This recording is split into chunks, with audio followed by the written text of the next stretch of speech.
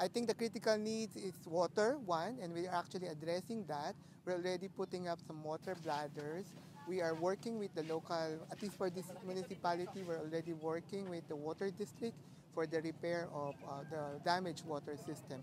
There are, our public health engineers have also gone around and they saw some uh, springs and some water sources which could be tapped and, and sort of uh, improved to provide some sort of a level to water system. We're providing some water kits so that you know at the household level water treatment would, would really happen.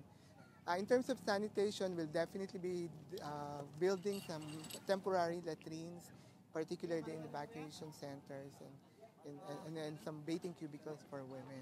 Definitely those things will be supported by hygiene promotion so that people would understand that it's really, they have to, to be healthy so that they, they, they won't get sick.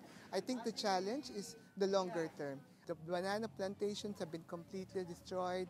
Uh, the coconut plantations, the trees have all fallen down, and it will take several years for that to recover. So they worry about how to, they might be able to survive in this first month, but what will happen after this month and in the next coming year? This problem will not go away in one or two years' time.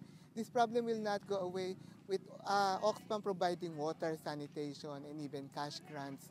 Uh, there's a bigger issue that has to be addressed. So you're looking at a massive livelihood, food security situation here that will last and, and cannot be addressed uh, quickly and would need more resources.